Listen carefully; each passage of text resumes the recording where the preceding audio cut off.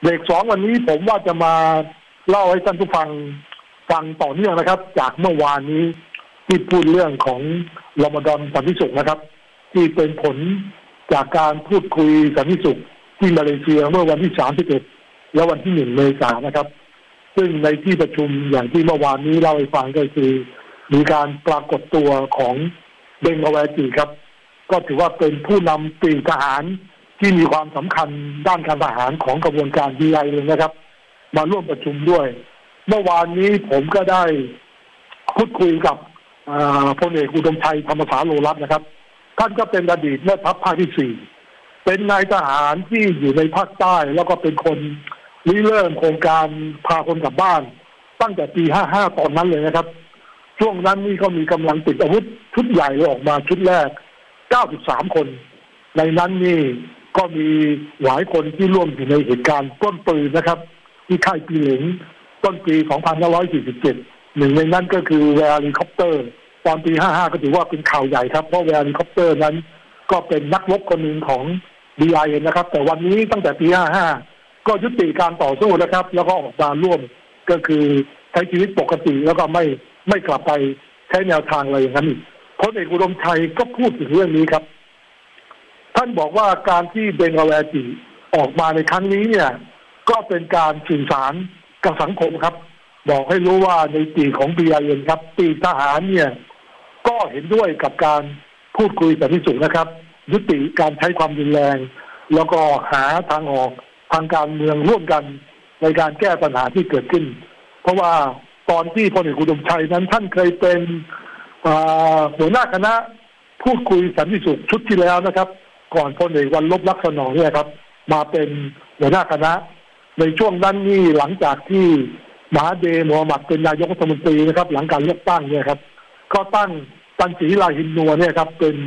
ผู้โดยความสะดวกแล้วก็เดินทางมาไทย แล้วก็มาเจอกับทางพลเอกคุณดมชัยธรรมศารโลรัตนะครับ ในครั้งนั้นนี่ผมก็ไปร่วมสังเกตการด้วย แล้วพลเอกคุณดมชัยก็ตั้งเงื่อนไขในการพูดคุยสันติสุขเลยนะครับ กับทางดีไอเอ็น ว่าจะต้องขอให้เอาแกนนำที่เป็นตัวหลัก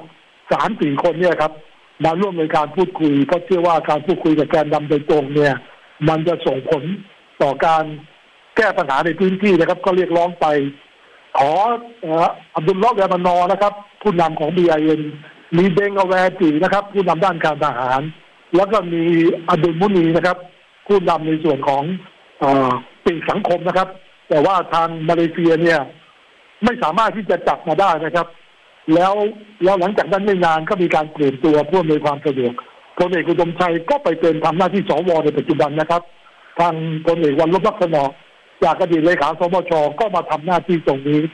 แล้วการพูดคุยในช่วงแรกเองสองสามครั้งก่อนหน้านั้นนะครับ ก็ไม่มีไม่มีระดับนำมาครับ ส่งอันนัสอับดุลลอมาน ซึ่งก็เป็นมือรองของทาง ดุลลอเวมานอนะครับ มาพูดคุยในช่วงสามครั้งที่ผ่านมาแต่ว่าครั้งที่สี่เมื่อปลายเดือนที่แล้วครับเบงกาแวกิก็มานะครับ แล้วก็ในที่ประชุมก็ได้ข้อยุติร่วมกันครับ ในช่วงของเทศกาลรอมฎอนนั้นก็จะทดลองหนึ่งเดือนนะครับ ยุติการใช้ความรุนแรง ก็เลยเป็นที่มาของคำว่ารอมฎอนสันติสุขนะครับ ในช่วงหนึ่งเดือนของการถือสินอดนั้น ทาง BIN โดยการรับรองของทางเดนกาแวตีผู้นำปีทหารครับว่าจะไม่มีการใช้ความรุนแรงจากกำลังของ BIN ในพื้นที่จังหวัดชายแดนภาคใต้นะครับ อันนี้ก็เป็นสถานการณ์ที่ต้องดูครับ จากเดือนหนึ่งจากนี้ไปนะครับ ผมก็จะกอดติดเรื่องนี้ครับว่าเหตุในจังหวัดชายแดนภาคใต้เนี่ย มันจะเปลี่ยนไปจากเดิมก่อนหน้านี้หรือไม่นะครับ เพราะในช่วงที่ผ่านมาหลายปีก่อนหน้านี้นี่ ช่วงเดือนรอมฎอนนี้ก็จะเป็นช่วงที่ กำลังติดอาวุธ RKK ของ BI นะครับ ก็จะมีปฏิบัติการทางทหารนะครับทำร้ายผู้บริสุทธิ์มีอยู่ช่วงหนึ่งก็ถึงกับยิงผู้นำศาสนานะครับยักกบหวายมณีนะครับอิหม่ามของทางมัสยิดของทางปัตตานีเลยในเขตอำเภอเมือง ก็เป็นผู้นำศาสนาที่ได้รับการยอมรับได้รับการเคารพนับถืออย่างมากจากคนในพื้นที่นะครับ กระบวนการนี้ก็สังหารเลยครับในช่วงของ เทศกาลรอมฎอนหลายปีก่อนหน้านี้นะครับ ก็เป็นเหตุการณ์หนึ่งที่บอกให้เห็นนะครับ ว่าบีไอเอ็นเนี่ยเขาก็จะใช้ความรุนแรงกระทำต่อ ทุกคนแม้ว่าจะเป็นผู้นำศาสนานะครับ เพื่อที่จะปรามแล้วก็ไม่ให้คนเหล่านี้เนี่ย ออกมาเคลื่อนไหวคัดค้านการต่อสู้ของกระบวนการดีไอเเพราะว่าการใช้ความรุนแรงทำร้ายชีวิตผู้อื่นนะครับ มันไม่ได้นะครับ ในส่วนของคัมภีร์อัลกุรอานหลักการศาสนาอิสลามเนี่ย ก็ระบุไว้ครับว่าการทำร้าย ชีวิตผู้บริสุทธิ์ แม้แต่คนเดียวเนี่ย ก็เหมือนกับการทำร้ายประชาชนทั่วโลกอะไรประมาณนี้ก็คือเป็นการห้ามปรามในเรื่องนี้เลย อีกอีกเรื่องหนึ่งนะครับ ที่ตรวจสอบเมื่อวานนี้ก็คือหลังจากที่ได้ข้อยุติในเรื่องของรอมฎอนสันติสุขเนี่ยครับ ก็ปรากฏว่าตัวเลขล่าสุดครับกำลังติดอาวุธ RKK ในพื้นที่นะครับ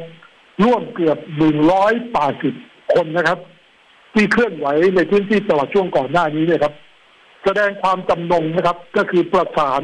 ผ่าน BIN แล้วก็มาที่กองทัพภาคที่สี่ครับ ผ่านศูนย์สันติวิธีนะครับ ที่พลโททิลาเดหวา ท่านเป็นผบศูนย์ท่านเป็นแม่ทัพน้อยที่สี่นะครับ แล้วก็เป็นหนึ่งในคณะพูดคุยสันติสุขของรัฐบาลที่ไปร่วมประชุมที่มาเลเซียด้วยนะครับ ก็มีการประสานมาที่ศูนย์สันติวิธีมีประมาณเกือบร้อยแปดสิบคนครับ พร้อมที่จะขอมาใช้ช่วงรมฎอนสันติสุขเนี่ยครับ กลับมาในหมู่บ้านกลับมาในชุมชนนะครับ กลับมาอยู่กับครอบครัว แล้วใช้ชีวิตตลอดช่วงหนึ่งเดือนเนี่ยครับ ในการทำปฏิบัติกิจศาสนานะครับ ในมัสยิดในหมู่บ้านในพื้นที่นะครับ ซึ่งอันนี้ก็จะเป็นมัสยิดที่เรียกว่ามัสยิดสารใจสู่สันตินะครับ อันนี้ก็เป็นความคืบหน้าล่าสุดที่เกิดขึ้นครับ เพราะว่า เป็นข้อเสนอของนักภาคที่สี่พลโทเกรงไกรศรีรักนะครับ ให้กับทางพลโทพิลาเนี่ยแจ้งกับทางตัวแทนของบีไอให้รับทราบถึงแนวทางที่กองทัพภาคที่สี่จะปฏิบัติในช่วงตลอดหนึ่งเดือนในช่วงเดือนละมดอนนะครับ ก็คือลดบรรยากาศของการเผชิญหน้าการเป็นศัตรูกัน แล้วทำไปแล้วก็คือการเอาป้ายป้ายหมายจับนะครับ ที่ติดอยู่ตามด่านทั่วไปด่านตรวจทั่วในส่วนของจังหวัดชายแดนภาคใต้เนี่ยครับ มีการเอาออกหมดนะครับ รวมถึงแม่ทัพภาคที่สี่เองก็กำชับแนวทางปฏิบัติ จะไม่มีการปฏิบัติการเชิงลุกเชิงลุกนะครับติดล้อมตรวจค้นในพื้นที่เป้าหมายที่ต้องสงสัย ตราบที่ขบวนการอาเคเคที่ออกมานั้น ไม่ใช้ความรุนแรงหรือไม่ก่อเหตุร้ายนะครับ เพราะนั้นในช่วงหนึ่งเดือนจากนี้ไปนะครับ เพราะว่าเทศกาลถือถิ่นอดเนี่ยครับเริ่มวันแล้ววันแรกตั้งแต่วันที่สามนะครับ ก็ต้อง นับดูกันไปจนครบหนึ่งเดือนจนถึงช่วงลายอนะครับ ว่าสถานการณ์จะมีมือที่สามจะมีกลุ่มติดอาวุธอีกฝั่งหรือของกลุ่มที่ไม่เห็นด้วย จะมาสร้างสถานการณ์ในพื้นที่หรือไม่นะครับ ซึ่งเรื่องนี้ทั้งทางดีไอเแล้วก็ทางกองทัพภาคที่สี่เองก็มีการหารือในเรื่องนี้นะครับ ในกรณีตรวจสอบ ถ้ามีเหตุความไม่สงบเกิดขึ้นหรือเหตุร้ายแรงเกิดขึ้น ก็จะต้องมีการตรวจสอบร่วมกันว่าเป็นการกระทำของกลุ่มใดฝ่ายใด ราะว่าในพื้นที่จังหวัดชายแดนภาคใต้นะครับ แม้ดีไอเอ็นจะเป็นกำลังหลักนะครับ ในการสร้างสถานการณ์ความไม่สงบตลอดช่วงที่ผ่านมา แต่ว่าก็มีกำลังบางส่วนของจากบางกลุ่มนะครับ ที่อาจจะมีการเคลื่อนไหว แล้วใช้สถานการณ์ในช่วงรอมฎอนเนี่ยครับดิสเครดิตในส่วนของ BIN ครับว่าเฮ้ยมันยังมีอีกกลุ่มอื่นนะครับ ที่ทางรัฐบาลไม่ได้พูดคุยด้วยเนี่ยครับ เรื่องนี้ก็ทางพลเอกวันลบลักษณะก็บอกว่าเป้าหมายก็คงจะต้อง พูดคุยกับทุกกลุ่มนะครับ แต่เมื่อ BIN นั้น